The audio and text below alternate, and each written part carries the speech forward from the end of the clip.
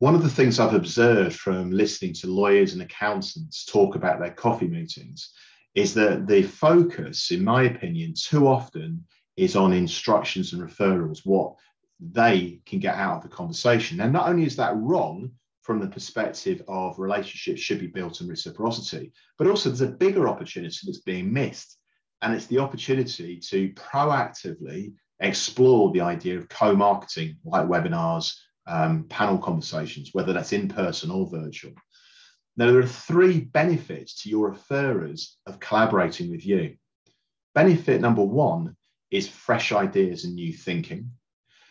Benefit number two is the opportunity to actually involve someone else. The problem uh, that many organizations have is the same old people keep putting their hands up to take the lead, and um, that isn't always conducive in getting the best outcomes. And thirdly, it actually strengthens your referrers marketing, i.e., it makes it more likely that they can achieve their objectives because having a third party, having an objective voice, having an expert like yourself actually adds credibility and interest to the event. So there you go. Three reasons why you should proactively explore uh, opportunities to collaborate with your referrers next time you're having coffee meetings.